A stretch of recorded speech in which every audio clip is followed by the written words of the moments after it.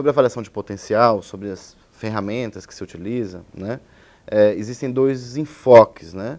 É, um que vai olhar mais o perfil, né, e existem ferramentas como MBTI, já tradicionais, né, já de mais de 50 anos, é, Myers-Briggs Type Indicator, temos é, conhecimento do DISC, também muito praticado em empresas brasileiras, ah, o professor Roberto Coda, aqui da FEA USP, também professor da, da FIA, desenvolveu o MARI, que também tem uma base semelhante nas teorias junguianas e adaptado para o contexto brasileiro. Então são ferramentas que vão trabalhar aí as preferências de comportamento, os tipos psicológicos, as preferências de é, atuação das pessoas frente ao contexto é, é, com os quais elas se defrontam. Mas a lógica de trabalhar perfis vai pressupor o quê? Que você defina perfis para as posições, para os cargos, para depois poder comparar com os perfis que saem das ferramentas, desses, desses testes que eu citei. Existem outros também, o TMS, TMP, que vai trabalhar também a integração da pessoa em equipe. Existe um Insights, que foi desenvolvido na, na Escócia, também tem uma base nas teorias junguianas. Né? E aí, mas é, é, importante a empresa então ter clareza, o meu perfil, ah, perfil gerencial é, é de uma certa característica, como é que eu vou buscar então no resultado do teste essas características. As ferramentas é, é, de caráter psicológico, né, eu tomo cuidado aqui de não usar testes, porque existe uma discussão de conselho de psicologia, eu não tenho essa formação de psicólogo, sou administrador, com mestrado também em administração, é, mas a gente vai buscando esse, esse conhecimento. Né? E é, no Brasil, pouquíssimos são considerados testes psicológicos por conta de questões de validação no nosso contexto, mas abstraindo um pouco essa discussão um pouco mais acadêmica, essa questão também das, dos testes de atitude ou, ou, ou, psicológicos, é importante diferenciar. Alguns deles têm uma característica realmente mais é, definitiva para medir alguma característica humana. Lembrando que esses, essas ferramentas não vão medir o ser humano como um todo, vão pegar algumas das suas características. Né? É, e aí, é, algumas como o PI, Predictive Index, são mais, na sua proposição pelo menos, não estou dizendo que são de fato, mas são mais definitivas. A pessoa tem aquele perfil, não muda. Então, alguns psicólogos do mercado comentam, existem alguns testes como esse que são melhores para a seleção de pessoas, né? quando você vai selecionar aí prática típica do setor privado. Já outros testes, como outras ferramentas, como o MBTI, como o próprio DISC, como Insights, como o TMS-TMP, Human Guide, eles, eles pressupõem que a coisa não é tão fechada assim. O Insights, por exemplo, coloca que no seu estudo, cerca de 20% das pessoas que passam pela ferramenta não tem uma auto-identificação é, com o próprio resultado. Quer dizer, eles mesmos admitem que há algum erro de pesquisa e, principalmente, que isso deve ser tratado como um ponto de partida para reflexão de expectativas da pessoa e, eventualmente, se a organização patrocina isso, expectativas da empresa em relação às pessoas. Né? Então, as questões de, de testes e tudo tem que tomar esse cuidado e, e para trabalhar dentro de um contexto que as pessoas já estão na empresa, é importante escolher essas ferramentas que, que dão esse tom de desenvolvimento. Né? Nos, nesses testes é muito comum você ter ali uma representação gráfica com cores, e o que os especialistas falam é que é difícil a pessoa se desenvolver para um perfil oposto.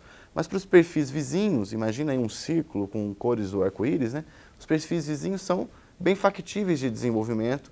E aí o profissional, quando ele tem repertório de comportamento que ultrapassa o seu tipo, ele vai ter uma vantagem, porque ele vai ser é, mais flexível na hora de se comportar, né, desde que ele tome consciência a respeito disso.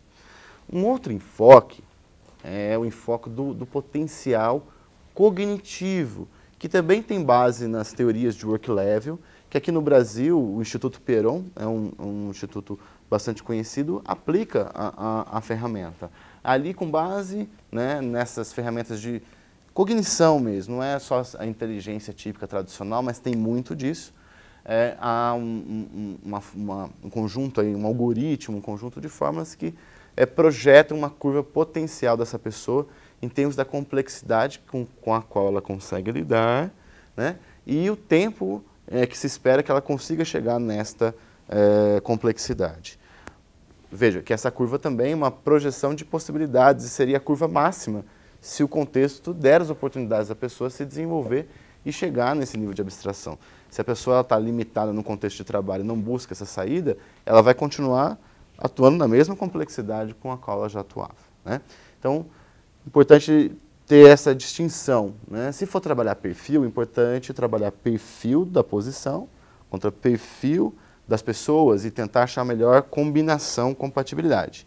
Se for trabalhar potencial, você não precisa ter o perfil de posição, e sim entender né, e, e trabalhar aquelas que, pela sua curva de potencial cognitivo, conseguiriam então avançar mais rápido e lidar com a complexidade maior das posições mais altas numa hierarquia da, da organização. Não só a hierarquia típica, tradicional, gerencial, mas às vezes também a hierarquia de trabalhos técnicos altamente especializados. Mas uh, importante também sempre colocar em perspectiva. Assim como a gestão de desempenho não é só uma avaliação, ela passa da contratação de expectativas. Ninguém deve ser avaliado por algo que não sabe. O jogo tem que estar combinado antes. Um acompanhamento e o fechamento, um balanço, né, é, para ir re, re, é, retomar esse processo, esse ciclo. A mesma coisa deve ser vista em relação à formação de sucessores, a entender o que é um talento. Né? O talento ele depende do contexto, depende da posição, depende da empresa. Não há um talento absoluto e a pessoa sempre é talentosa para tudo, até pela diversidade de, de, habilidades e competências que, que uh, as pessoas têm. Né? Uh, mas às vezes as pessoas querem ter, ou as empresas querem ter aquela resposta rápida para tudo. E vejam, ninguém tem bola de cristal. Eu posso apostar em uma dada pessoa, mas eu não posso é, cair aí no equívoco de achar que eu já fiz a escolha certa. Porque o processo de autoconhecimento dessa pessoa em relação a uma exposição, uma nova posição, né? E o próprio fato dessa posição, pelas mudanças da organização também vir mudando, torna o quê? O caminho futuro não vai ser igual ao caminho passado. A posição gerente X de hoje pode ser uma posição com atribuições diferentes e com o mesmo nome depois, continua chamando gerente X. Então, é, a melhor estratégia, mais do que depender de só de testes ou ferramentas que dão um, um, passo inicial, um pontapé inicial, é trabalhar a gestão disso. É trabalhar, olha, se eu vejo alguém que pode ser gestor e eu sou o gestor dessa pessoa, antes de prometer qualquer coisa, não tem por que prometer nada, não há motivo para prometer uma promoção. E sim buscar puxar essa pessoa para atuar em situações que são do nível seguinte, que são da minha posição gerencial.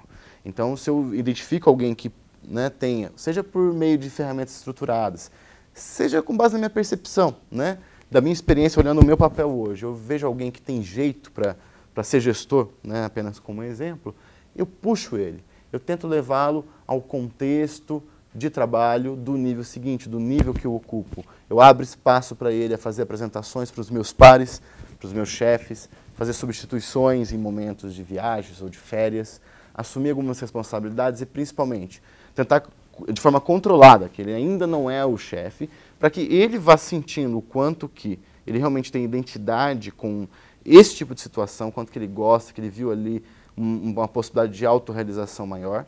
E o gestor também avaliar, puxa, será que vai dar certo ou não? Veja, a posição gerencial é de alta responsabilidade, qualquer uma tem uma responsabilidade grande, é, lidar com pessoas, lidar com os resultados, com os processos, né? tudo isso tem que ser é, é, gerenciado. Né? Então, da mesma maneira, é importante na, na, sucessão ter a consciência da importância do papel gerencial e, por outro lado também, relevar qualquer receio de que a decisão tem que estar 100% certa aí. Tem que gerenciar a situação, acompanhar a pessoa, ter um diálogo mais franco e o gestor também se identifica que a pessoa não consegue lidar ou identifica que não há uma clara aceitação dos futuros pares, talvez reverter esse movimento, não reverter acho que não é o melhor, porque ele não, não houve uma promessa nesse meu caso, não foi feita uma promoção, né? mas é, é, mudar o plano deveria estar no cenário dos gestores. E às vezes as pessoas têm medo de fazer isso, porque acham que ah, errei, e como se fosse realmente um erro. Não é possível ter essa precisão toda na previsão. Como eu já falei, o contexto da posição muda. A pessoa também vai cada dia se conhecendo melhor naquele outro tipo de desafio. Alguns vão achar ótimo, vão adorar e é isso que é a vida profissional futura. Alguns vão achar, ih, posição gerencial, essa liderança não é para mim. Eu acho que eu prefiro realmente ter uma atuação mais técnica. Né? Eu acho que eu vou estar mais feliz, mais satisfeito, mais bem adaptado ao trabalho. E a empresa que faz isso de uma forma né, gerenciada, sem querer tomar decisão hoje, mas buscando algo que, que vai alimentar decisões futuras, inclusive de não promoção por autoconhecimento da pessoa, pela avaliação do gestor, vai ajudando com que as decisões de ocupação de posições sejam, sejam bem mais eficazes e efetivas. Né?